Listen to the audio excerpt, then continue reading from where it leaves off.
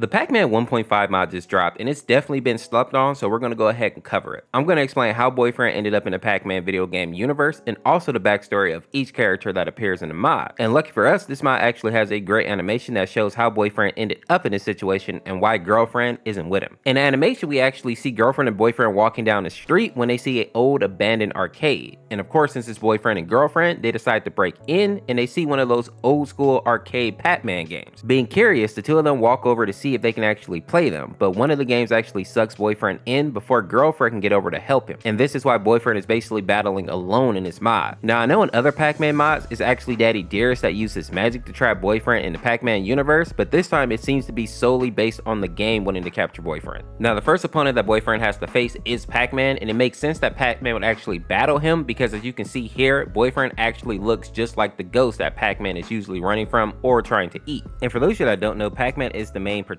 for the Pac-Man series, and he was created back in the 1980s, and even 40 years later, he's still considered to be Namco's mascot. Now, since we know the date that he was created, technically Pac-Man is 42 years old, and for species, he actually falls under Pac-Person, which really doesn't tell us what he is. And another weird fact about Pac-Man is that he has an insatiable appetite, meaning that he can just keep eating and eating and eating. And this is why in his original game, we see him going around eating those little orbs, which I think are called power pellets. And of course, the other things he eat, I think are called power cookies, and the other ones are just regular fruits. Now this also explains why in this mod he actually tries to eat Boyfriend as well. As you can see in the mod, he looks just like the ghost that Pac-Man usually has to fight against, so it would make sense that he would try to devour him. And ironically enough, this kind of makes Pac-Man one of the more dangerous people that Boyfriend has had to face. Now let's talk about the four ghosts in the background here, starting out with Clyde. Now the first thing that I find interesting about Clyde is that his name in Japanese actually translates out to slow one. And even though Clyde is one of the four ghosts that is always in the Pac-Man series and chasing Pac-Man, he's definitely the one that has the least interest in actually catching him. While the other three ghosts are usually actively chasing Pac-Man, Clyde is usually off doing his own thing, and for the most part, it's been confirmed that in certain games, once he gets into a certain radius of Pac-Man,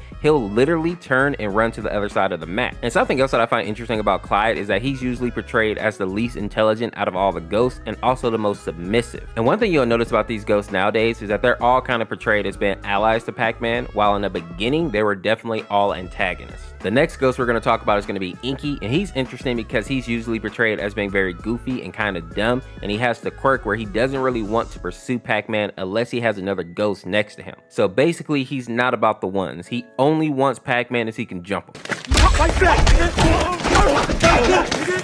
Fight back! Fight back!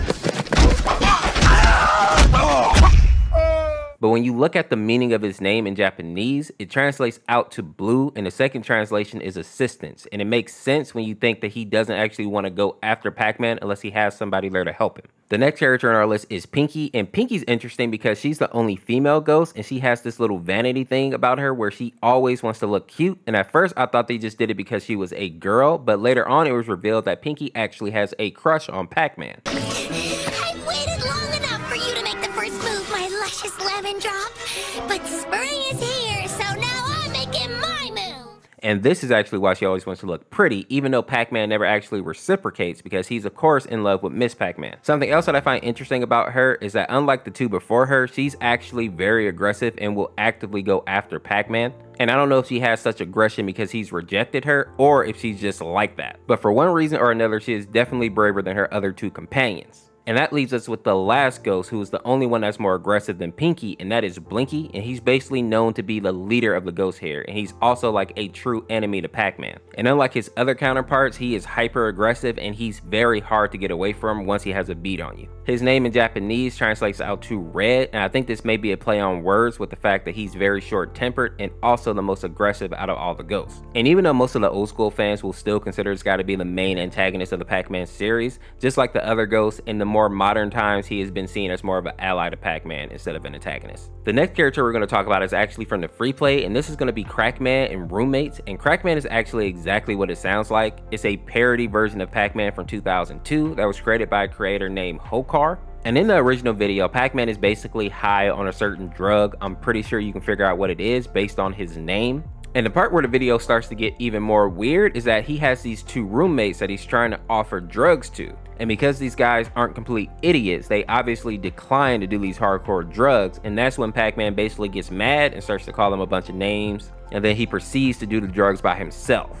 And then the animation ends with him doing this weird little dance by himself. And even if you haven't actually seen this animation, you're probably familiar with this dance in some way or form.